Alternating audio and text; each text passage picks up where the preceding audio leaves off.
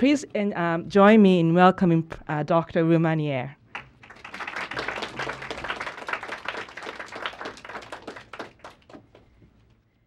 Well, I can't tell you how delighted I am to be here, and um, thank you so much, Maki. That was too kind of an introduction.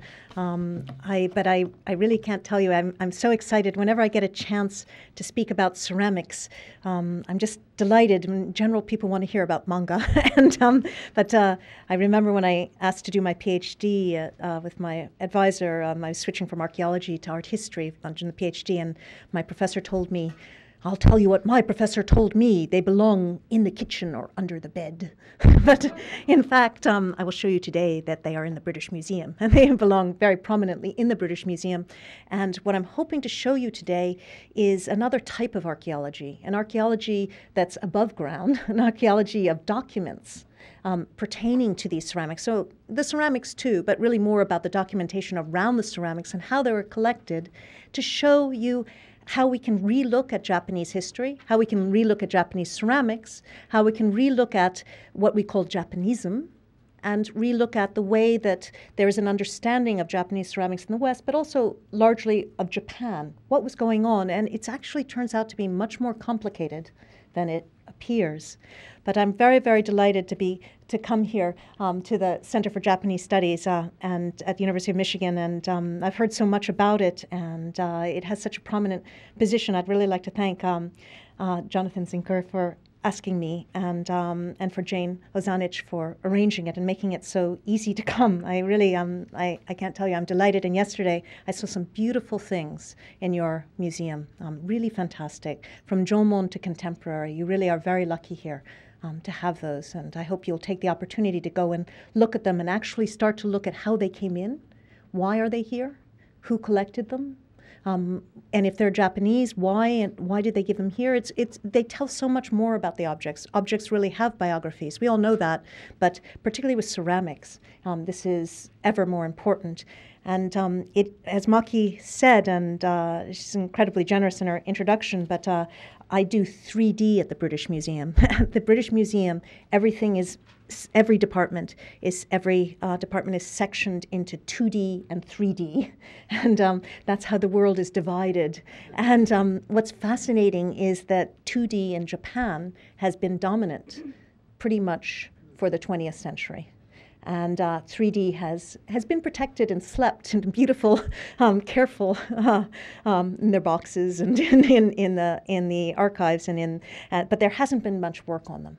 So what I'm showing you today is new research, is um, research that is in progress. It's not finished. Um, but um, hopefully, and if you have any ideas or if you have any suggestions, I'd really love to hear it. Um, hopefully, it will be finished by next year. And the British Museum is incredibly committed to online resourcing. It's called Merlin, and anyone can access it anywhere. But what you have to do, this is the key, when you go into Merlin, the D- British Museum database, which is truly um, advanced, you have to do the advanced search. If you do not do the advanced search, nothing will come out. But once you do the advanced search, then the world is open to you. And, um, and you do that, and hopefully by this time next year, but maybe before, all of the documents I'm showing you, I hope will be on there.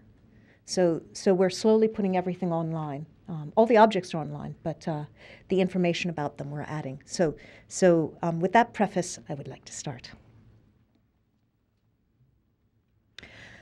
when when we talk about Japanese ceramics, um, and in particular, we often think of them when they're made. Uh, you know, this ceramic was made in 1610 in Arita. It's one of the earliest ceramics. You can think that and its point of production. But what I'm showing you today is more about the journey. And the journey is continuous, and I'll show you that in one example. But I just want to show you and position, um, we're going to be talking about a very specific period of time the 1870s, basically, 1870s to 1880s. This is very important because it's the beginning of the Meiji period, 1868. A number of things are happening. Japan and England has a very close relationship, and this also involves France and certainly Americas. So it's almost like a new world has opened up to Europe for collecting.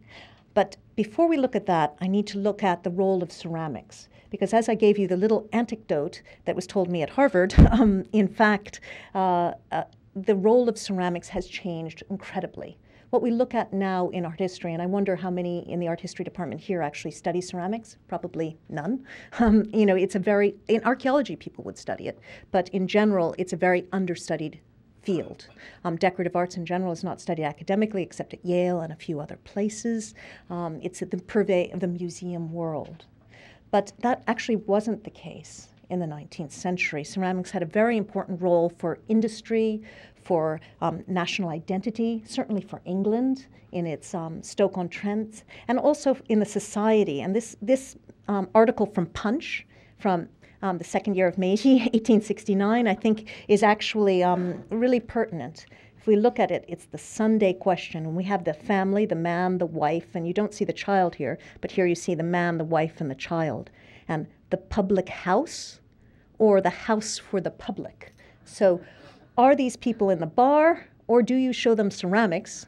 this is in the South Kensington Museum, I imagine, uh, but um, do you show, or perhaps the British Museum, do you show them ceramics and educate them? So, co- by coming to a museum, and we're looking at the role of the museum and looking at the role of ceramics in the museum, what are you doing? You're raising, you're using people's new leisure time raising them, raising their consciousness. So we're looking at the role of ceramics today um, in the museum in the talk today.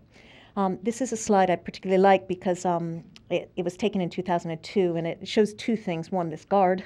Um, they really run the British Museum. and there are a thousand people working in the British Museum and the guards really have the power. and, um, but they're really lovely and this man is particularly lovely. But I want to point, this is the front of the British Museum. My, I'm sure many of you have been there. If you haven't, you have to come and visit. But I was particularly pleased because I did this exhibition called Crafting Beauty in Modern Japan, and it was about contemporary Japanese crafts. It's the first time that the British Museum had a contemporary Japanese exhibition, actually, besides for a few contemporary um, uh, print shows and, and painting shows. And, but this was in the Great Court, and it caused a huge sensation. At first, they didn't want to do it, but it caused this huge sensation. And from now on, it changed collecting policy, and we are now con- collecting contemporary living national treasures and crafts and things like that. But it, it, I'm looking at the role of craft and particular ceramic at the British Museum. Um, these are the newly reinstalled Mitsubishi Corporation Japanese galleries. And um, in the 20th century to 21st century area, in the center, is called the Crafting Beauty. We call this the Crafting Beauty case. These are living national treasures. We have Tokuda Yasukichi III, um, Imaemon. Um, we'll see his studio later, and Kakiemon Sensei, Inoue Manji. You know, anyway, they, we have contemporary crafts now at the British Museum, so it's part of a living tradition. Now, you could say this is new, but actually in the 19th century, this was commonplace. In fact, this is what happened. You had contemporary objects that were coming in. We tend to forget that. But saying about contemporary objects, I wanted to show you this fantastic piece, which actually I found when I was first working with um, Tim Clark, who is a brilliant man who runs, who heads the whole Japanese section. And um, I was going through the store, and I found this very odd pot. And um, immediately I knew it was early Jomon. Um, and it was complete. It, you know, you, it's very rare to get really complete Jomon pots, but if you notice something really a little bit odd, you see it's got gold Actually, what it is is a mizusashi. It's a water jar for the tea ceremony. And what someone has gold, um, uh, painted gold and then lacquered, and then made a lid for it. I don't show you the lid here. The lid is really rather hideous. And then, um, but the we conveniently keep the lid away. But uh, but but what um, this is is basically a um, object from Tohoku that is early Jomon. So you know about 5000 BC, um, early to early middle Jomon, that was dug up um, and in a farmer, most likely in the Bakumatsu, so mid 19th century, maybe early 19th century, and someone looked at it and said, "Oh, we can do something with tea." So they made it into a tea jar. So it's an ancient object that's been reused in the 19th century. Then it was bought by um, Alex uh, von Siebold and um, Philip Franz von Siebold's son who then sold it on to our hero today, Augustus Wollaston Franks, who we'll talk more about. And, um, and so it went into the British Museum as an object of ancient Japan. Augustus Wollaston Franks gave a talk. He was the head curator of the British Museum in 1868, the first year of Meiji, on the Japanese Stone Age to the prehistoric conference in, in London. So there was a huge interest in ancient Japan in the early Meiji period, and as a result, Japan obliged and made many fakes of, of the of the ancient objects. So we have actually some of those too, um, but this one is real. And uh, what's fascinating is it's just been reborn because it's um, included as one of the hundred objects of the the History of the World in 100 Objects that was done by the director of the British Museum, which is a brilliant book, the BBC radio show and book. And this represents one of the four objects of Japan. And so it has a new incarnation, and um, which is much more than its original purpose. So we just see various um, objects. And I want to just use this as kind of a litmus for our talk. Now we get to um, the British Museum. And you probably all know how the British Museum was founded, but um, there are two things that are very important. And since I want to go through a lot of things, I'll I'll speak rather quickly. I don't want to keep you. I want to keep to my 50 minutes, so I want to be very careful. But I have a lot to show you. Just need to set in your mind the British Museum. I don't know how many of you know this, but it was founded in 1753, and it was founded by a man named Sir Hans Sloane. He's this gentleman right here. Sir Hans Sloane was an amazing man, and when he died, he had 71,000 objects himself. But he had a very intricate relationship with Japan uh, in two ways. Um, firstly, he made his money through hot chocolate. He um, actually developed uh, using hot chocolate was popular in the um, in the early 17th century. Uh, I'm sorry, late 17th century to early 18th century. But what he did, um, and it was it was very bitter. What he did was added sugar and milk and said it was good for you. And since he was a doctor, everyone believed him, and said it was a digestive. And men in particular used it because they put rum in it. Uh, no, I'm sorry, gin. They put gin in it.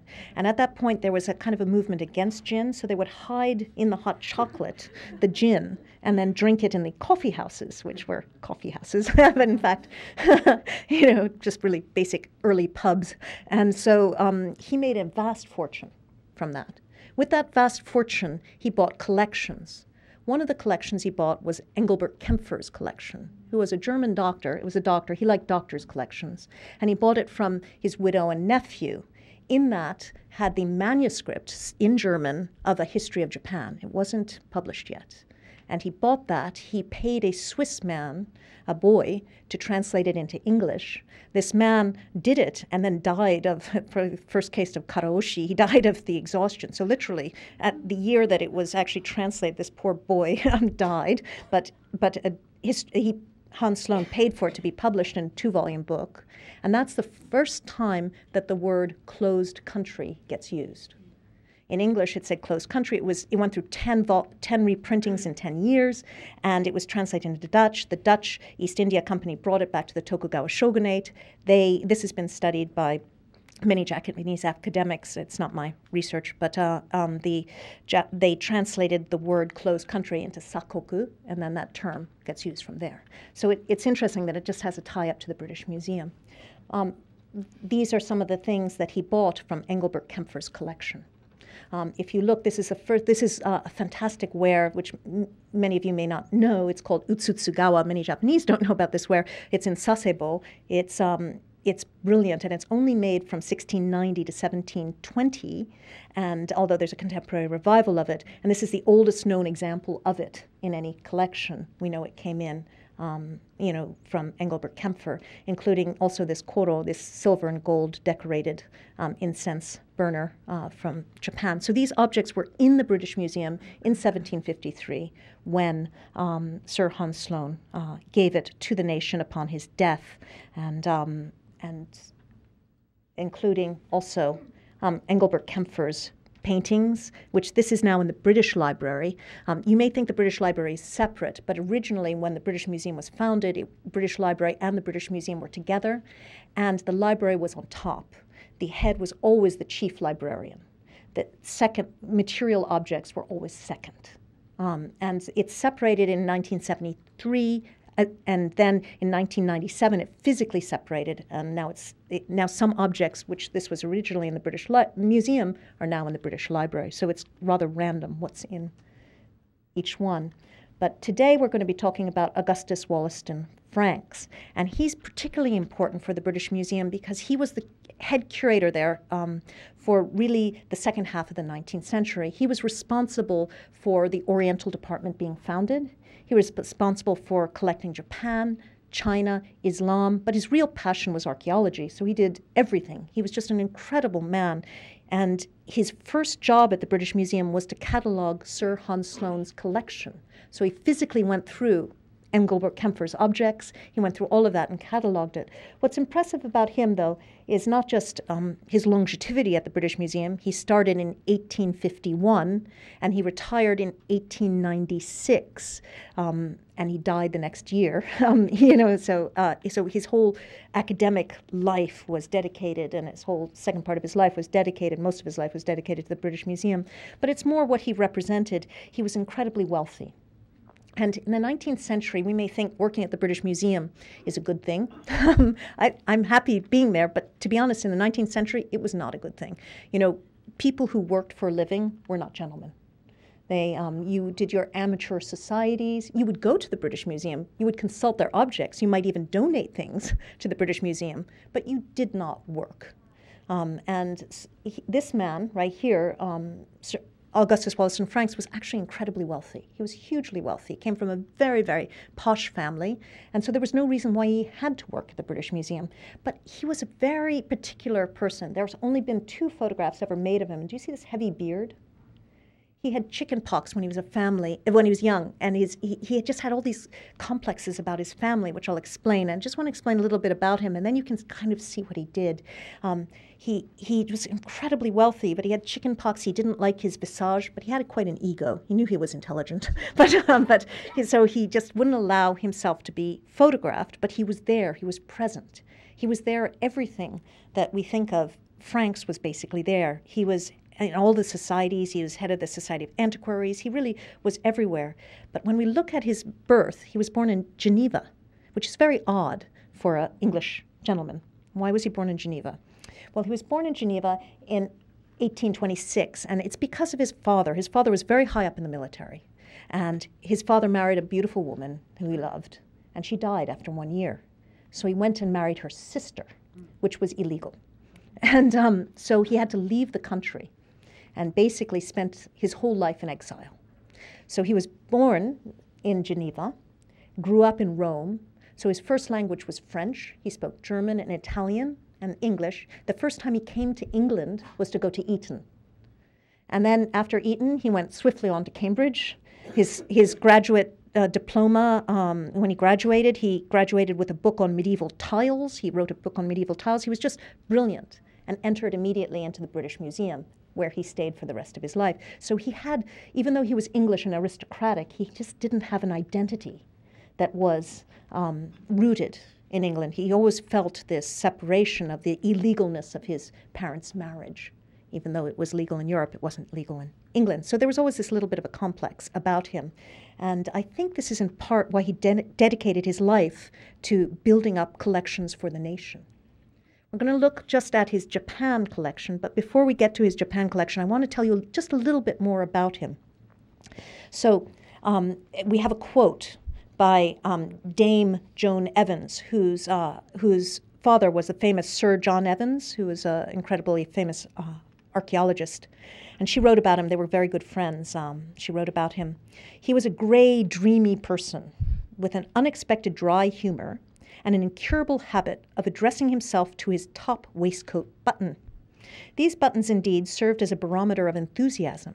If he were looking at an antiquity which he liked very much indeed, he figured the top one. If very much, the next. If moderately, the next, and so on down the scale. There were very few objects of antiquity which failed to evoke a response of some sort, for his knowledge was incredibly wide. So you can just see this voracious, voracious collector. But it wasn't a random collection. And what happened when he died was he had all of his letters burnt. Um, he didn't want his personal life to be known, which was actually quite common at the time. So it's not unusual. It's not that he was a naughty boy and you know and was trying to hide something. That was actually quite usual. But um, but I've found, and this is what this talk is about, um, which we'll get to in just one second, is is the documents that the more you dig at the British Museum, nothing leaves. You know, you're not allowed to deaccession without an act of parliament, mm-hmm. and um, and papers just don't leave. The ceramics, which I'll show you, have stickers on them from everyone who's seen them, and pieces of paper jammed in them from all of the people who have viewed them. And so they're they're actually artifacts in them themselves. So I've been digging around and I've found some amazing things which I will show you. But um, one document which I didn't find, which someone else found, was um, that he wrote was in a separate place. But it, it, at the very end of his life, he wrote um, what was called, what he titled, An Apology for My Life. This is right at his death. So much for, the, and I quote, so much for the museum and its collection. I think I may fairly say that I have created the department of which I am now keeper. That means head curator.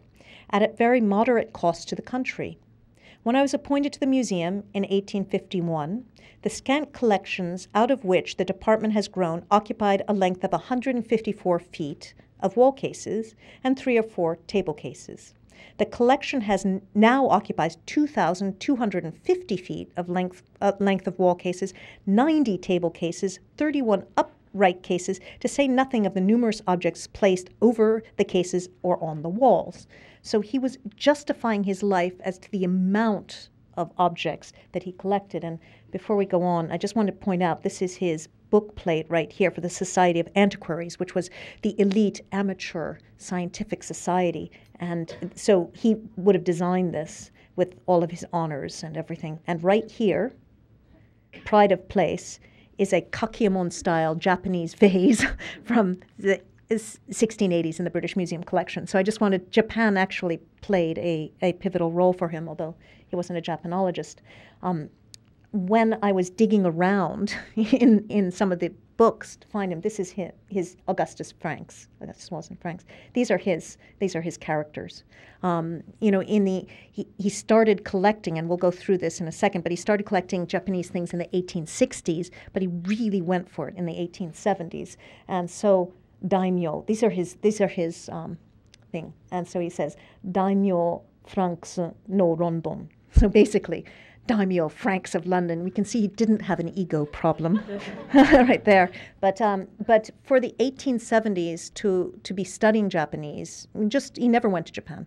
And to be studying Japanese to understand Japan wasn't his thing. This was just one aspect of his collecting. But he really was looking for the authentic Japan. And I found a document which what he believed was the authentic Japan. I, I found a document which shows his thought processes, and this is what we're going to talk about in a second. But this is his grave in Kensal Green, and graves are really important. Um, I don't know if you ever go to go and look at them, but they often tell you a lot more than you know just say thank you to the person who you're studying. But it tells you a lot, and so if you go here, you see Augustus Wollaston Franks. This says he's a sir, he's a knight of the um, empire. And then the first thing it says is president of the Society of Antiquaries. That is what he felt was his um, work. At the very end, after all these titles, it says sometime keeper of the British Museum. so, you know, British Museum ranked quite low. This was what the British Museum looked like when he left it in the 1890s. So you can see what we're talking about wall cases. This isn't Japan per se, but uh, just things put up around and all over. I've been retracing what happened, how he was involved in Japan, and what was his collecting. And um, just to give you a little bit of a, of a preface to this, um, he, he was very good friends with Sir Rutherford Alcock, who was in Japan very early in the um, 1860s. And in 1862, there was one of these, or 1851, interestingly enough, there was the first great exhibition. It was called the Great Exhibition of Works of All Nations. In fact, it only had a very little bit of Asia, but there were some Japanese objects, but uh, very, very little bit of Asia. It was the Crystal Palace exhibition. But the one that really started to feature Asia, and particularly Japan, was 1862, um, and there was a Japanese court. It was all contemporary objects. But um, Sir Rutherford Alcock set it up, and Franks bought a lot of them, so they're in the British Museum. And um, then I've been just trying to trace. This is 1866, an auction with what is now Christie's, and this object right here, just random European objects, but here we have a Japanese coffee pot, and um, oh, sorry, I, I had a I meant to put, sorry, I meant to, I've been cutting down slides. So we, this is now in the British Museum, this coffee pot right here. So we can start to trace where he purchased these things. And it turns out, basically, he purchased them in auctions. This one also is from another auction. It's fantastic. It's a very, very early export uh, ware from Arita. Um, it dates very, very specifically to 18, to 16 to 1660. So this is really early export. We know because of the style and the design, but it's fantastic pieces. But he also went um, to this is a coffee cup actually. It's a you can I'm sorry hot chocolate cup. You they're very so appropriate to the British Museum.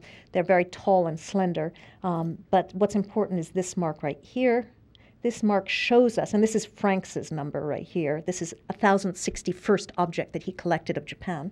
Um, this is Augustus the Strong, um, who was uh, the Elector of Saxony, um, who has a passion for Japanese porcelain. Um, this is his marks from the Zwinger. Uh, and so these were, he went, Franks went twice to the Zwinger in Dresden and collected objects directly from there. So he went around Europe and collected objects. These are some of the other objects. This is Kakiemon style objects. They're fantastic pieces. They're made from 1660 to 1690s, really the height of Japanese export. But these were very, very expensive. These were all made for export. Now, Franks wouldn't have known that. He just assumed these were Japanese ceramics and the height of Japanese ceramics. This is another candlestick that he bought, and this is his writing right here, and um, not the pencil, um, that was done by uh, Jenyns later on, but the pen is his.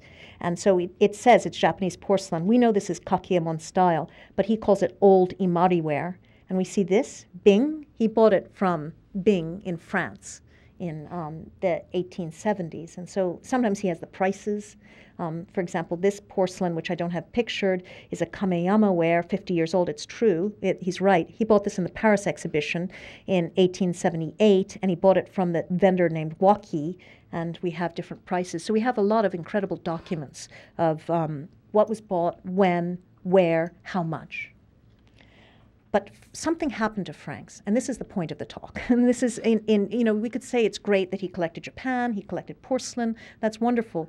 But Franks wasn't just a rabid collector, he was actually not just serializing things. He actually had a commitment to the nation.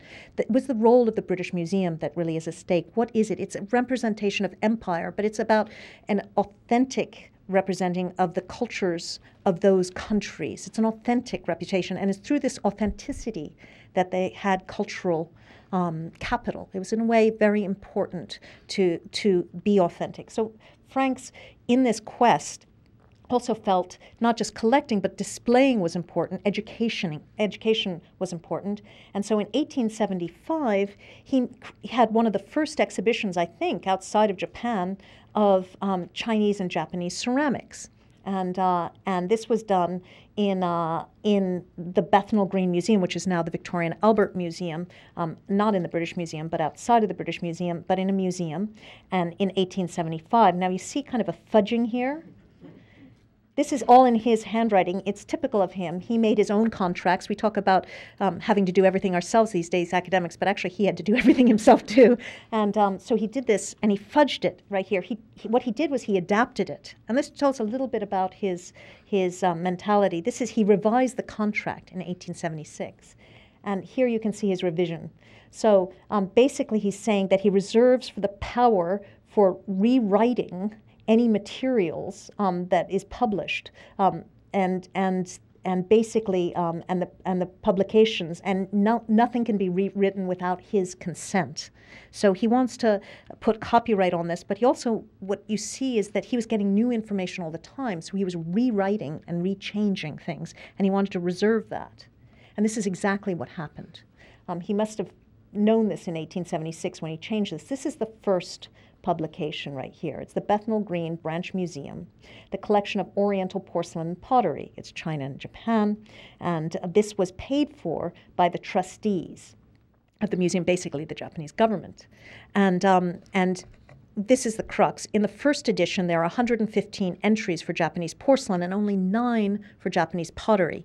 Now, what he calls Japanese pottery, that means earthenware and stoneware. Now, you may all know the difference between um, pottery, um, earthenware, stoneware, and porcelain, but it's very important for this argument.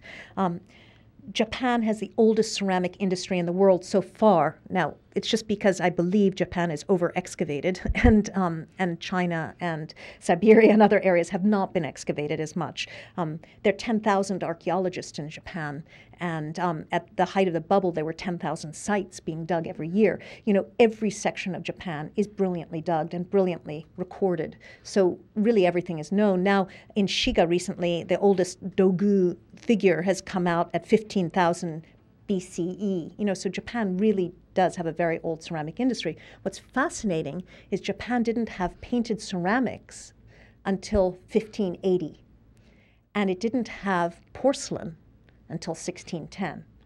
Now, China had it, you know, in the Tang period.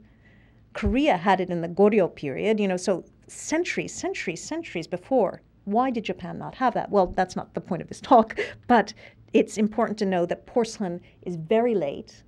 And if porcelain only started in 1610, it was already being exported because of um, problems with export with China by 1650s. So in very quick time, Japan was on a quick learning curve to, to make porcelain. And so what Franks was, was collecting was the porcelain. He believed this represented the history of Japan.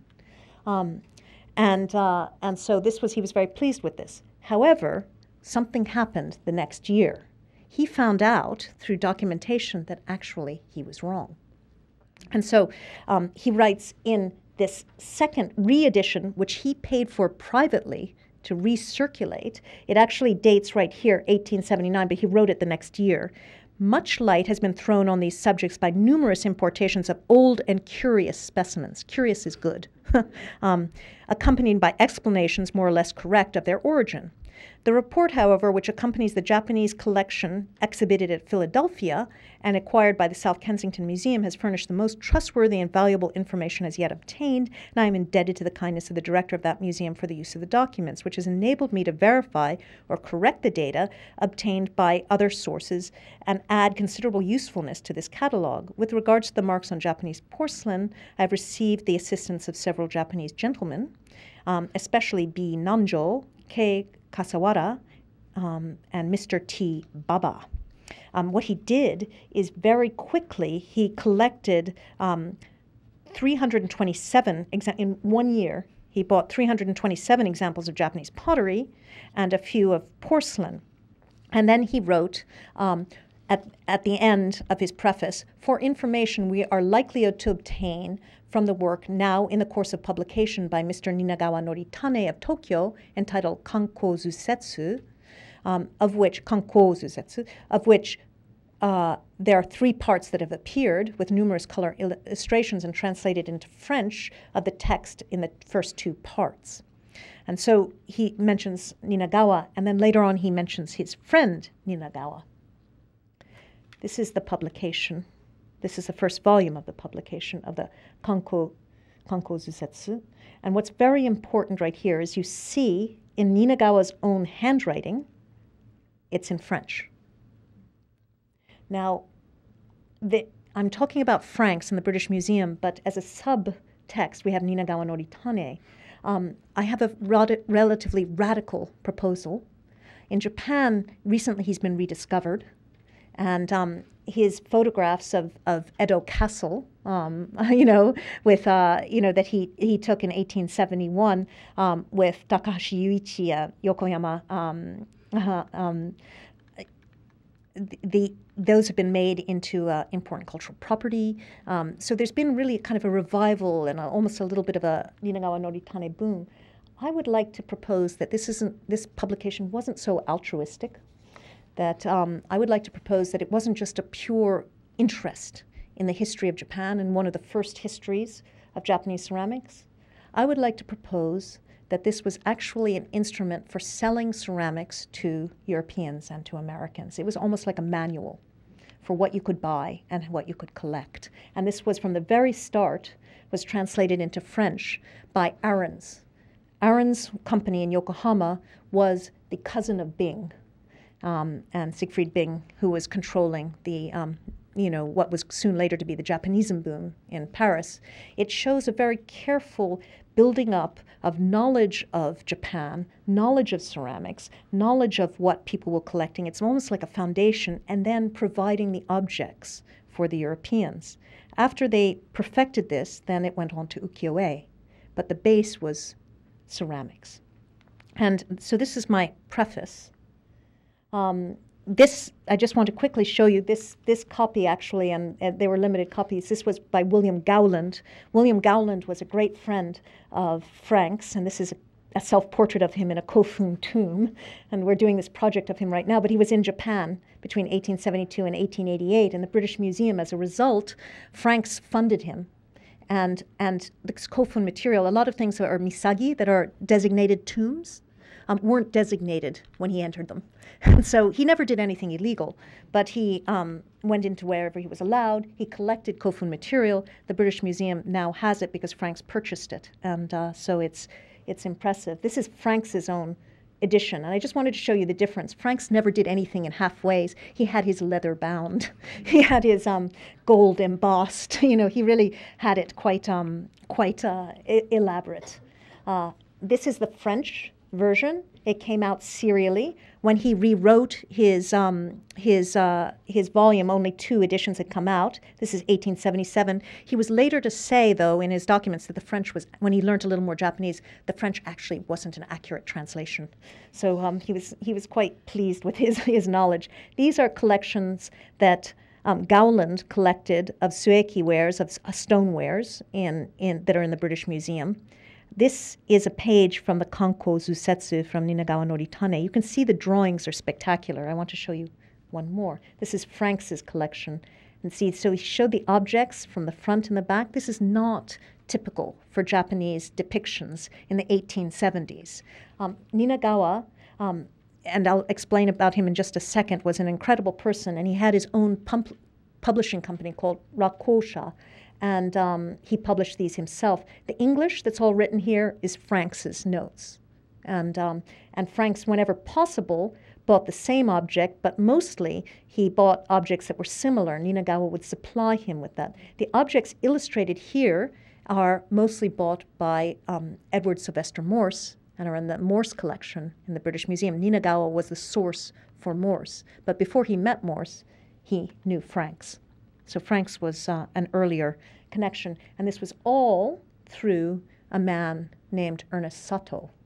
And we will tell you about Ernest Satow's dealings and his literal dealing in Japanese objects in a moment.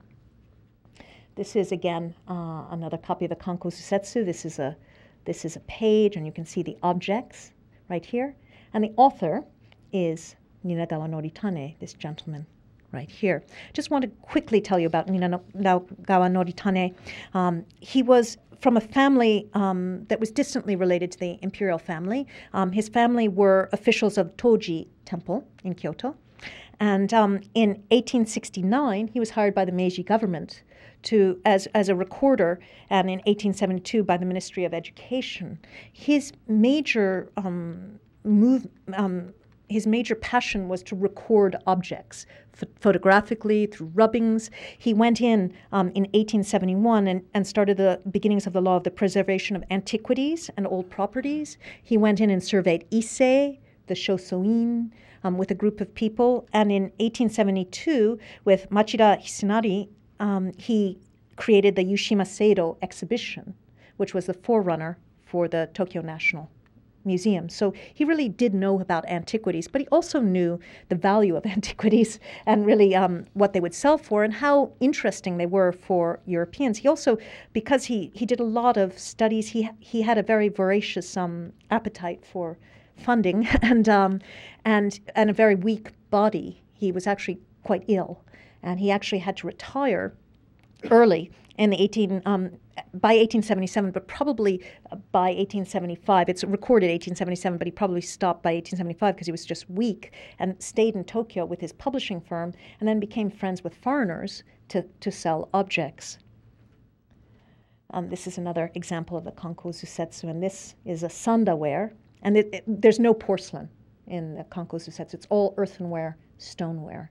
And this was a huge revelation to Franks. He all of a sudden realized all of these foreign porcelains that he had been collecting, that he really felt represented Japan, were export ware. This was a huge shock for for Franks, and um, and so he he switched what he thought was export to domestic wares, and and um, and he wrote actually in the second volume. He said.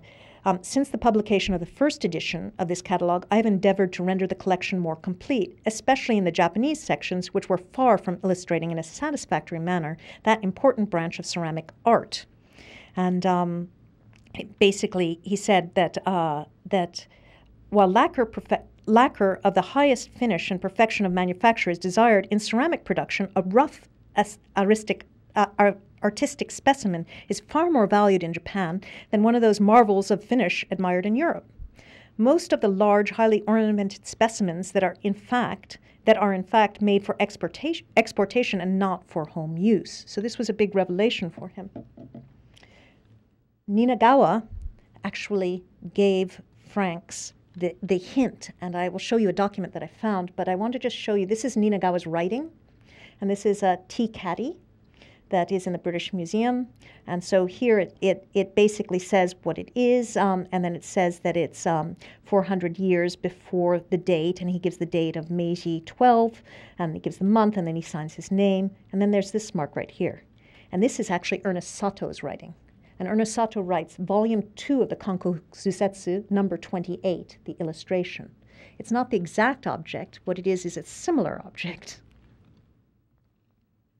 This is a, uh, a depiction of Ni- that Ninagawa had someone draw for him, a painter draw for him, of Ninagawa looking at Edward Sylvester Morse, taking his collection back to, to uh, America, to Boston that's now in the Boston Museum, and um, Morse's children. He, he, was very aware of the export market. This is Morse himself um, giving a lecture. Um, Morse went many, um, a few times to the British Museum. These are objects in the British Museum.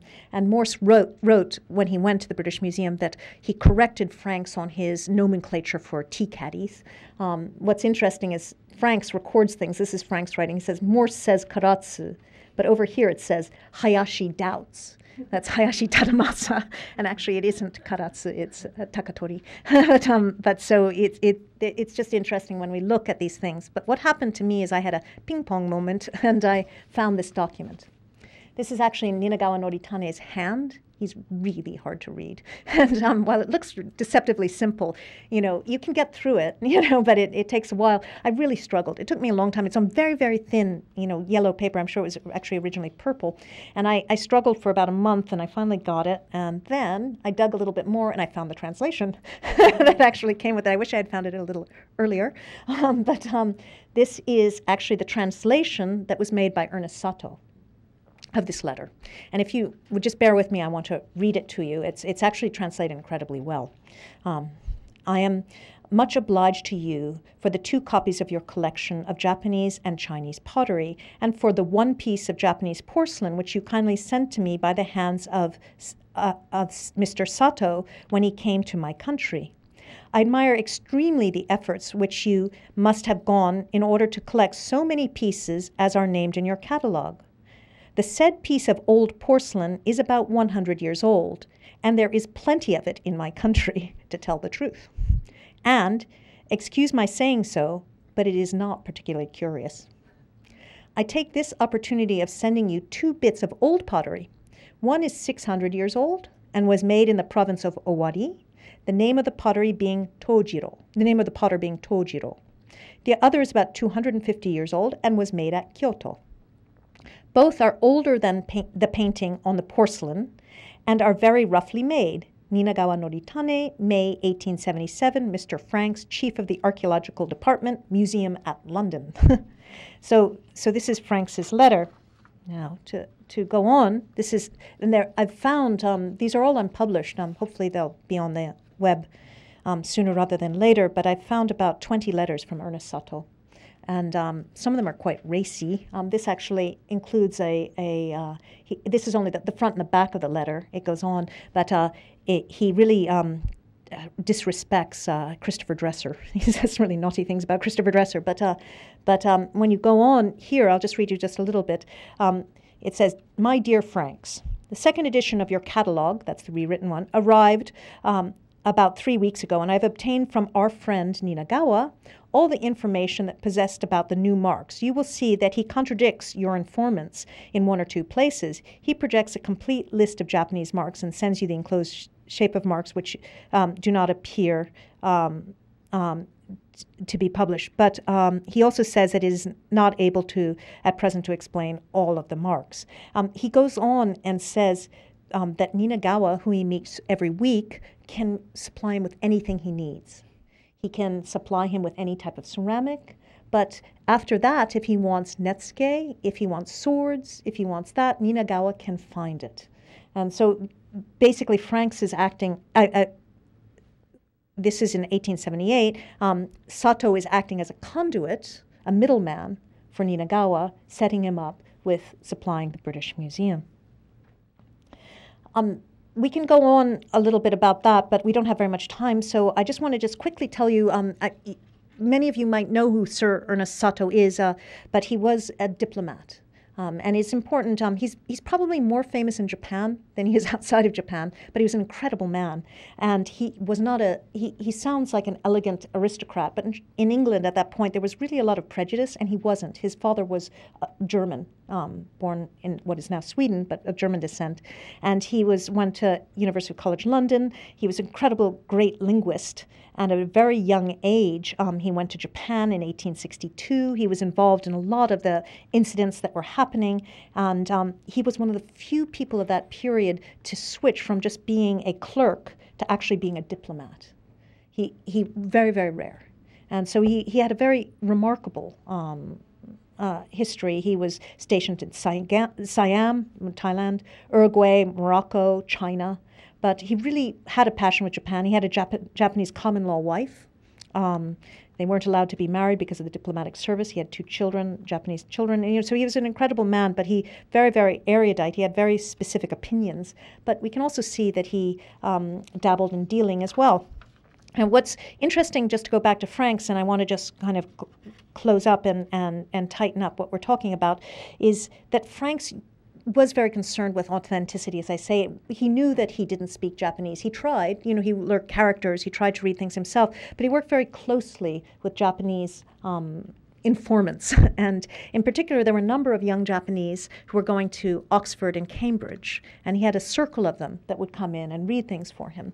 Um, two that were particularly close was a man named um, Kasa. It says Kasawara, and he signs his name Kasawara, but it turns out it's Kasahara. And then um, this man named um, uh, Nanjo Bunyu, and these are letters from them. And, uh, and it's incredible when you read these letters. They're in perfect English and truly elegant. Um, Kasahara wrote, um, this was a 20 page document on the tea ceremony for Franks. It's, it's really very beautiful. And this is um, Nanjo Bunyu. Nanjo Bunyu was an incredible man who went to Oxford. They both went to Oxford, and they both were studying Sanskrit.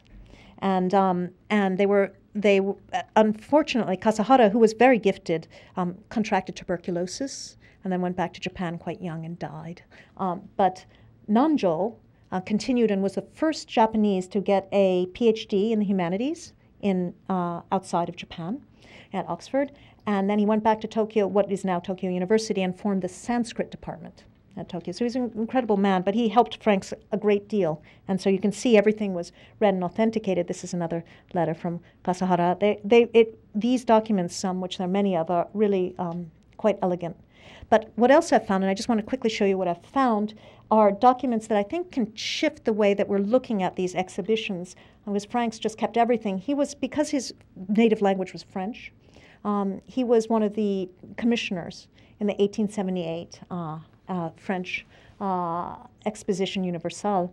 And um, this is in his handwriting. And he went through and wrote all of the Japanese um, exhibitionists, um, people who came to exhibit, the potters, and uh, and then he wrote whether they were um, overglazed, whether they were actually potters. He wrote where they were from. Um, he wrote their family names. And what you start to realize, and you get this picture that you have the people who displayed, but then you have this whole group of people who came um, in what was called the bazaar, in the people attached to these expositions, where they actually sold objects and, and contemporary objects, and that's what was being collected. So it's hard to trace from what was actually displayed. It's actually the group around the, the displays that most of the dealing was done. Also, just um, just to quickly tell you a little bit about Franks, this is another document I found. Japanese wares not in AWF's collection. This is what he wrote. so, so, you know, it would be like me saying, uh, you know, manga not in NCR's collection. you know, I just, you know, he had a you know, good sense of self. But it's really interesting. He really went for it. You know, Inuyama ware, you know, Shidoro ware, you know, these really kind of marginal wares. Um, Odo, you know, from Tosa, which he did get. And so when he got them, you know, you put a little check, and when Imado, he got a lot, and Asahi, um, you know, it, it, so it's really Im- impressive. He really had a laundry list, what he wanted, and he collected it. it, it here, for example, this chaire, which he drew, um, this is in part two of the Kanko Zusetsu. He bought this from Ninagawa, and he bought this for 10 yen. So we have these prices. Um, it's the Ninagawa collection right here. And um, this is um, this is him. It's got the British Museum print, and the, he bought things from missionaries that were coming back from Japan. So this is from Reverend C.J. Todd, I think, who was in Hokkaido, and he bought wares from him. He also had this says Remax. I, this was a Japanese dealer, and uh, and and in paper and and in English and also in Japanese of all the objects for sale, and he bought things from there. Um, I want to just finish up and conclude, though, with not just showing you Franks's voracious appetite, which, cons- which basically in the British Museum now we have, um, I'd say, 3,500 Japanese ceramics, uh, half pottery, um, earthenware, stoneware, half porcelain. But it was very much of a living collection. And part of Franks's legacy, and, and just to turn back and just kind of conclude, is that he collected, he wanted to collect ancient wares from Jomon to the contemporary, but he was very much interested in representing all of the kilns, what was happening in Japan at that time, contemporary. And so we're continuing this tradition now, and we're working with many different potters, in particular this wonderful potter who's sadly died recently, but he was from Kanazawa, Tokuda Yasokichi III. He was a living national treasure, and this is him, and he, um, from Kutaniware, and he came, and this is actually in the Victoria and Albert Museum before they redid their galleries. We brought him to the galleries, and he did the same thing at the British Museum. And this piece right here um, was considered to be a uh, Kokutani style, early um, overglazed Japanese made in Arita 1650s to 1660s. There are many, like this at the British Museum. It looked really great. He said, My grandfather made that. And I can prove it. And he did prove it. So um, basically, what it did show is that it's amazing what happened in the 19th and early 20th centuries with dealing, and, and styles were made exactly as the old styles. When these collectors, such as Franks, Ninagawa, all of these new markets were opening up, Japan supplied them they made fake jomon. They made, you know, whether this is fake or inspiration, I think you have to be careful. You can't say things are fake. He could have made it in the old style. But in the 1920s, his grandfather, Yasokichi I, did stop doing that because when he started to get famous, then, then he, yeah, he stopped. So I think it might have been to fool. But, um, but it, it, it's just important to look at history and the kind of repetition and continuings of history. Um, and when we base our artistic analysis on objects that might not be as old as we think they are. We just need to to to rethink, and so that's what we've been doing. But it's but it's fascinating. What's important, I think, is living tradition, and to really reassign our ideas of what is authentic. Um, here I've been talking about Frank's collection for authenticity, but actually authenticity is a flexible word. This is a Kokutani style piece. This is right. Um, it's 1640s to 1650. Um, in the British Museum, it's fantastic. This is Tokuda Yasokichi III's work, he says, and I'm sure this is true, that the colors and the porcelains are identical. He uses the same mineral pigments, exactly the same, the same recipes, and the same porcelain body. What he does is he uses an electric kiln. He fires them to incredible temperatures. He fires them three times to incredible temperatures that you can never get. So, in fact, it looks quite different. but it is the same. So, what is authentic? What is tradition? What is old? Um, it's also important to know about language. The term dento um, is, uh, we translate it as tradition. It doesn't actually work as tradition. In English, tradition is kind of finished, it's set. It's the queen's changing of the guards. It doesn't change, they change, but the, the patterns don't change. Dento, the Dento Kogeikai, or the Traditional Japanese Craft Association, is about tradition that constantly gets reinvented. So it's living tradition. This is Imaizumi Imaemon, the 14th studio. I showed you an earlier piece by the 13th. Do you see the red right here? This is from the overglaze that was painted um, from here. The people painting in the 18th and 19th century, it just dribbled down with the red right here. But we went in, we were allowed, it's very rare to go into their current studios.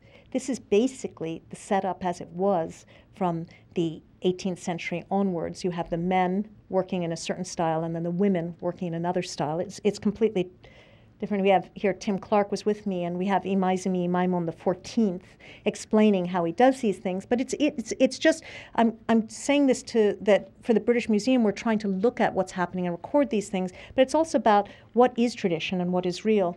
So um, these are my collaborators: Hiromi Uchida, Ohashi Koji from the Kyushu Ceramic Museum.